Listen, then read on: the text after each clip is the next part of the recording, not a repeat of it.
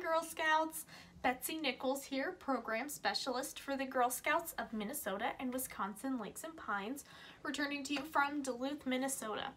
This video is part four of four for the Brownie Think Like an Engineer journey. Today we will be discussing um, how we can take the three design challenges that we have done and use them as inspiration for a take action project.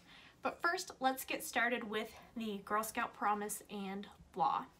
On my honor, I will try to serve God and my country, to help people at all times, and to live by the Girl Scout law.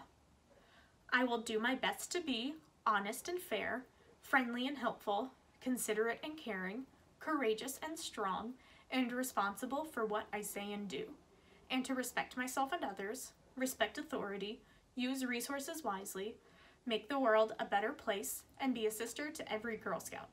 Great. So, take action projects. What are they? How do we do them? You might have heard of take action projects before, and you might have also heard of something called a community service project.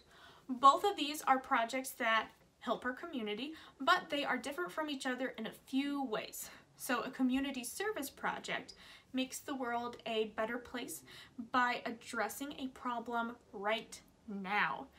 So for example, that could be like collecting food uh, to give to a food pantry, whereas a take action project encourages you to develop a project that is sustainable. And so that means that the problem continues to be addressed even after the project is over. So sustainability simply means uh, coming up with a solution that lasts. So let's take a look at an example. Um, maybe you want to do something about trash at your local park. Uh, so if you go to the trash, if you go to the park and you pick up trash, um, you've solved that problem just for that day. If you came back the next day, there would be more trash to pick up. So we're looking for a sustainable solution to the problem. So what we challenge you to do is think of reasons why it's happening. Why is there trash at the park? So maybe there aren't enough trash cans. Maybe trash cans are hard for people to find. Maybe people have to walk out of their way uh, to throw away the trash or maybe people don't realize the importance of putting trash in trash cans. So that list of um, reasons that I just read off, that is what we call the root cause of your problem. And so once you have a problem that you know you want to address, the next step is to identify a root problem or a root cause of the problem. And that is um, what you are going to base your take action project off of. So go, um, continuing with the trash example, um, maybe here are some ideas for how you could address the problem. So maybe you make a presentation um, to your city council and report on what you found and suggest adding more trash cans or moving the trash cans that are already there to be more visible uh, for people to use. Or maybe you create a public awareness campaign that encourages people to use the trash cans instead of littering. So those are two possible solutions to the problem that you identified that would be sustainable because they would continue to work even after you are done with your take action project. So again, let's take a look at the steps of a take action project. So first we are identifying the problem. Then we are coming up with a sustainable solution. Next we are developing a team plan. After that you put the plan into action. And then finally you reflect on what you have learned. Now, if you are watching this video um, with an adult or you are an adult watching this video, um, we always encourage and hope that Take Action projects are girl-led. So what that would look like is the girls brainstorming the, um, the problems that they are wanting to solve. So the girls thinking of what is it in my community in my community that I would like to address.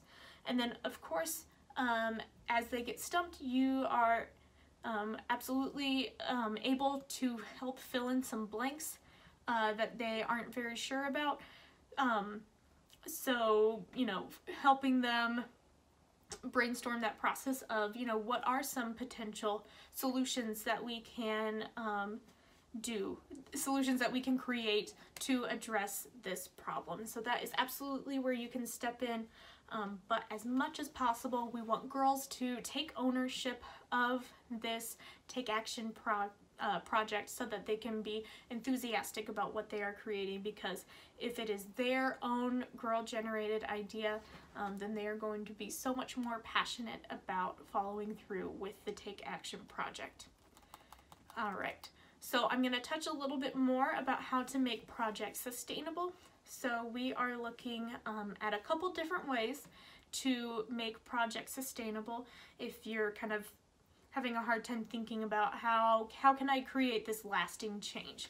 So there's three different ways that um, you can make your project sustainable. The first one is to make your solution permanent. The second one is to educate and inspire others to be part of the change. And the third one is to change a rule, regulation, or law. Okay, so thinking of your take action idea. If you remember, this whole journey we have been thinking like engineers. And so that whole idea of engineering is one category in a big thing that we call STEM. So STEM is an acronym just kind of like how LOL stands for laugh out loud. STEM stands for science, technology, engineering, and mathematics. So we were focusing on the E part of STEM these past three weeks.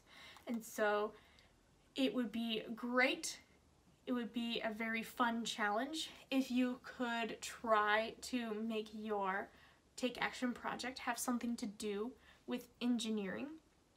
And so here's my little little nugget of wisdom, my little nugget of inspiration for you. Um, your life right now might look a little different than what it used to look like um, if you're watching this in 2020. Maybe you um, used to go to a public school where you had lots of classmates that you would see every day, and now you might be um, attending school from home or attending school online. Um, so, my question to you is Is there something about your school life that you miss right now? And is there a way that you could bring that back? That you could try to replicate it or find a creative way to bring it into your home life? And then can you share that with your classmates or with your troop? How can you um, share that with someone? So there is my question for you if you are having a hard time uh, figuring out where you want to get started with this Take Action project. Um, and you know, you can do this by yourself. You can do this with the rest of your troop um, virtually online or when the day comes that we are all able to meet up together again as Girl Scouts, we can talk about it then. Um, I'm to leave you with that, and I want to thank you so much for joining me on this Think Like an Engineer journey. Um, as always, if you have any questions, comments, or pictures that you want to post of what you're doing, please go back to our Facebook page and share those. I love seeing those pictures. I love reading those comments. Um, so thank you so much for that. And let's wrap things up with make new friends and our friendship circle. So sing it with me. Make new friends, but keep the old. One is silver and the other's gold. A circle is round, it has no end. That's how long I want to be your friend. Bye, Girl Scouts.